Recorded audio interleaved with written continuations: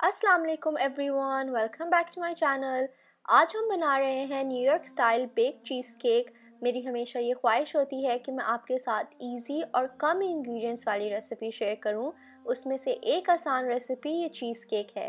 ये खाने में बहुत ही मज़ेदार है। तो रेसिपी में जाने से पहले please subscribe to my channel like my videos and share with your friends तो सबसे पहले मैं अपनी केक की बेस बना रही हूँ। उसके लिए मैंने लिए हैं मैरी बिस्किट्स आप कोई भी डाइजेस्टिव बिस्किट या टी बिस्किट ले लें और इसको हम अच्छी तरह ग्राइंड कर लेंगे ताकि हमारे फाइन क्रम्स बन जाएँ।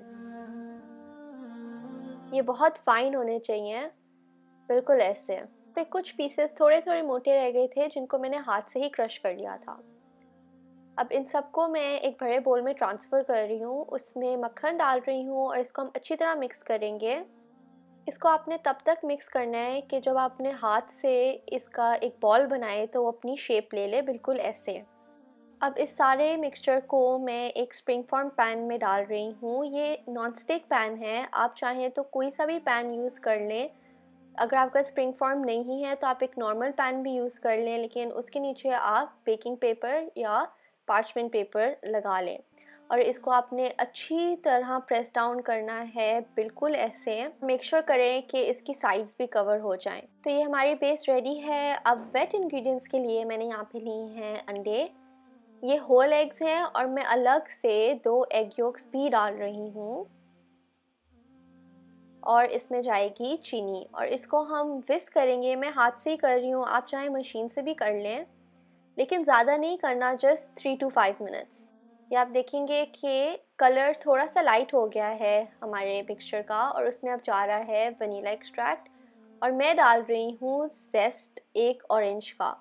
आप कोई सा भी सिट्रस फ्रूट यूज़ कर लें और अगर आपको वो नहीं यूज़ करना तो आप इसमें एक और टीस्पून वनीला एक्सट्रैक्ट का डाल दें।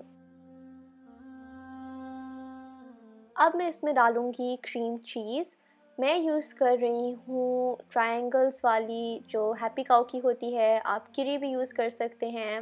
आप इसमें पक भी डाल सकते हैं। बेसिकली आप कोई भी क्रीम चीज़ यूज़ कर लें।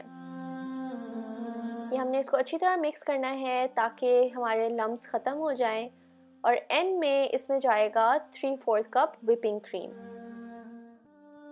इसको हमने विप नहीं करना, सिर्फ़ जब ये मिक्स हो जाए तो इसका मतलब हमारा मिक्सचर रेडी है। और कोई इंग्रेडिएंट नहीं डलता, मैदा भी नहीं जाएगा और ट्रस्ट मी इसमें अंडे की स्मेल नहीं होगी क्योंकि हमने जेस्ट डाला है और वनीला एसेंस भी डाला है। अब ये मैंने अपना सारा मिक्सचर अपने केक पैन में डाल दिया है। अब इसको बेक करने के लिए हमने 190 डिग्रीज़ पे रखना है 25 मिनट्स के लिए। 25 मिनट्स बाद आप एक ट्रे रख देंगे नीचे और और 210 डिग्रीज़ पे 25 मिनट्स के लिए पकाएँगे। हर अवन की हीटिंग डिफरेंट होती है तो अगर आप देखें आपका चीज़ केक बहुत जल्दी ब्राउन हो रहा है तो आप उसका टेम्परेचर कम कर दें। जब आपका चीज़ केक ठंडा हो जाए एक से दो घंटे बाद तो आपने इसकी छुरी से अच्छी तरह साइड स्क्रेप करनी है। और आप देखेंगे कि कितनी आसानी से केक खुद ही निकल जाता है। ये हमारा केक रेडी है, मैं इसकी गार्निश कर रही हूँ थोड़ी सी पाउडर्ड शुगर के साथ और इसको मैं आपको कट करके भी दिखाऊँगी। ये बहुत ही मज़े का मस्ट ट्राई चीज़ केक है। और अगर आप इसको ट्राई करते हैं please send me your creations on Instagram और अगर आपको मेरी वीडियो अच्छी लगी please subscribe to my channel and like my videos until next video अल्लाह हाफिज़